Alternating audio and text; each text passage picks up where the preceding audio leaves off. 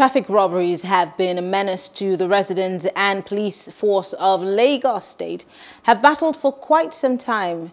Um, well, however, it's, it's the state that is now experiencing an increase in this sort of crime and other forms of robbery. The hoodlums loiter around either on motorcycles or on foot and wait for a breakdown of vehicles or traffic and swoop on to unsuspecting drivers with dangerous objects, including guns. Uh, they break their door screens or their windscreens. Um, open them and rob their belongings, of, rob them of their belongings. Now, the frequency of these attacks have increased, probably as more people have lost their jobs due to the downturn and the gridlocks as a result of widespread construction in the metropolis. Well, joining us to discuss this is Muyiwa Adejobi. He is the Public Relations Officer of the Lagos State Police Force. Thank you very much, Mr. Muyiwa, for joining us. Yeah, good evening. How are you? Fine, thank you. Now, let's, let's, let's go straight to this. Um, we know that Lagos is the, the country's economic center and every single person who comes to Lagos uh, is coming in hopes of getting a better life. Um, and, and, Lagos has been known for some time to have relative peace, uh, nothing as bad as we are experiencing now. So I would ask you as uh, a police officer, what exactly do you think is responsible for the new rise in these robbery cases all across the, st the state? There is, there is nothing new about the incident. Uh, robbery, robbery in traffic is not a new development in the states. Uh, this has, has, has been in existence before now, and it's not, it's not that it's, it's on the increase like it's generally being, being speculated in the social media or in the news. It's just because people who are victims are just conscious of the fact that they need to come up and circulate the news.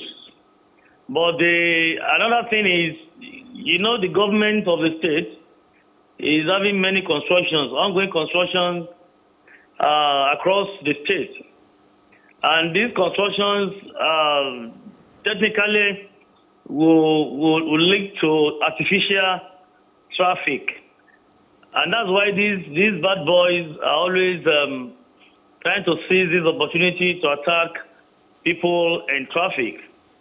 So it is not that the thing, the incident is on the on the increase. Uh, the way it's being generally speculated. So you're telling so you're telling me that we're making much ado about nothing. You're saying that these incidents are not as many as we make them seem. So what would people gain from making, um, you know, these reports, maybe false ones, to make, is it to make the police look bad or make the state look bad? Well, well I, like I always say, most of these things you read in the news are not recorded, are not recorded with us in the police, police stations. Many of these cases were not recorded.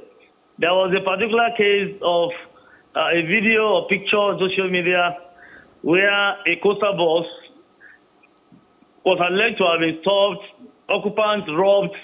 As I speak with you, we did not record such a case in the state. Most of these cases are not known to the police. Very few isolated cases were reported to us in the command that we can say we have these cases on our record and we are working on them.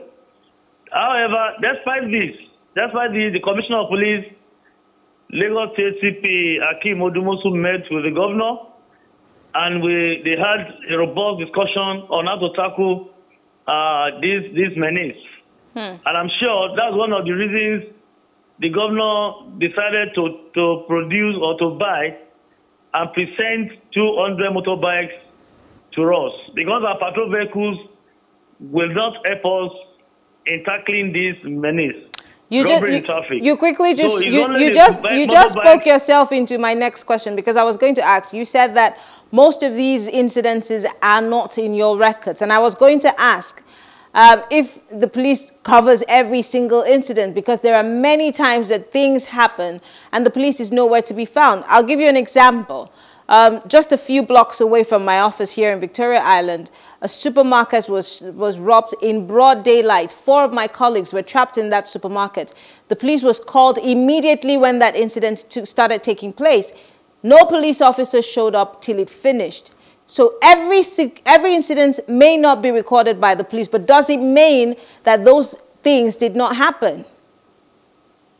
There, there is no how you, you, you discuss, you have discussion and analysis, analysis of security situation based on empirical facts. You don't speculate when you are analyzing security situation in a state. If you don't have these cases recorded, it's going to affect our crime statistics. How is that our fault if the police doesn't show up to take records of something that has occurred?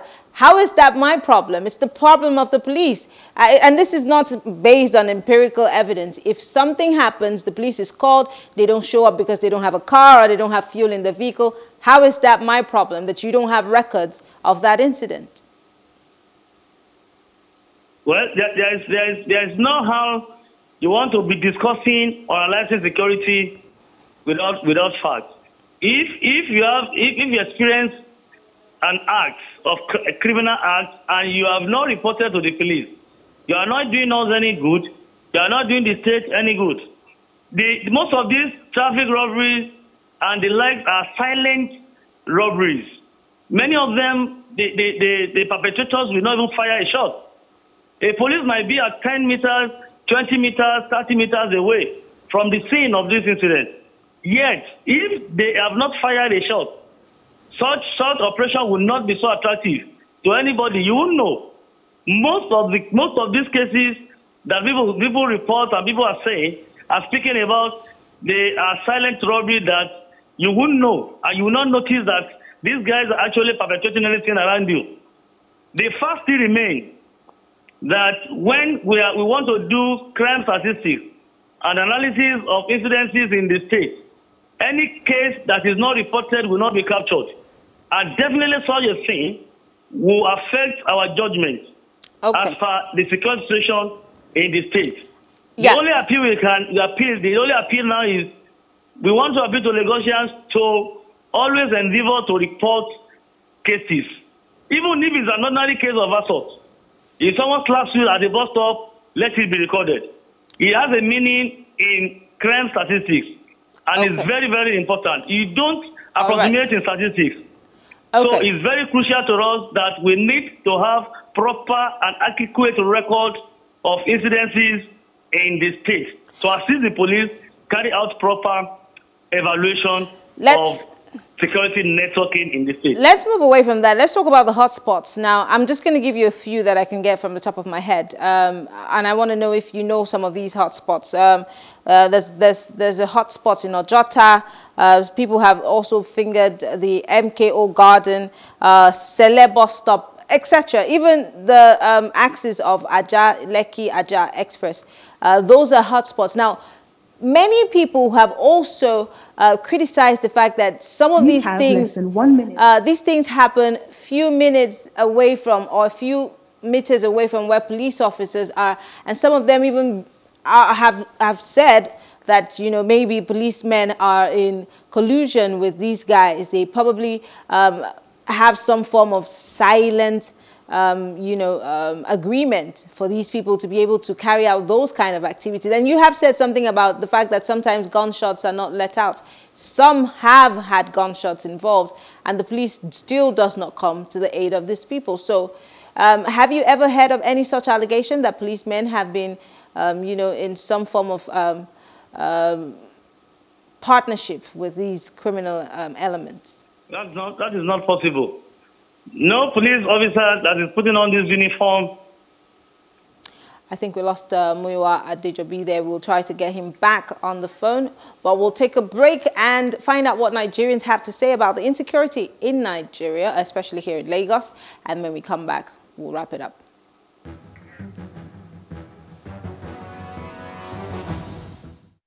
They should just increase the security. Increase the security and stop corruption. That's just the key to everything. Actually, I feel they should increase more securities. That's all. Securities and make sure they provide jobs, especially in Lagos, because the population in Lagos is too much.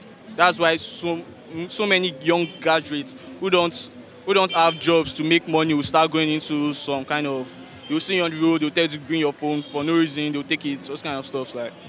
What the Lagos state can do is that let them um, make a, a space for, for people that doesn't have work. There are many graduates that did not have work. They are working. Many of them, they are driving keke napep.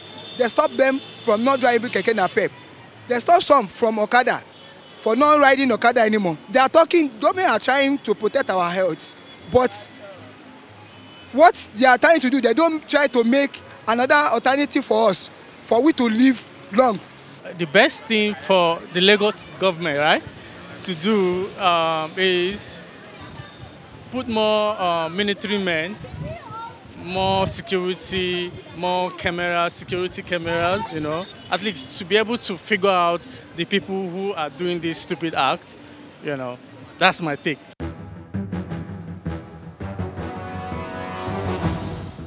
Here's my take. We need to do more than talk a good game or, or issue press statements in the insecurity spreading across the Federation like wildfire. I mean, governments at the center and governments across the states, legislators and security agencies have to form a synergy and come up with watertight plans to put an end to this multifaceted problem. Let's not politicize it. It's not time to wax lyrical on the issue. Let's come up with lasting solutions. We cannot say that we want to address insecurity in Nigeria without wanting to probe the core issues that could have led to these violent attacks and killings. It's time that we sit together, leaders and the led, and have a tough conversation of restructuring and devolution of powers. No more hide and seek. It's time for real talk, Nigerians, and it has to happen now or never.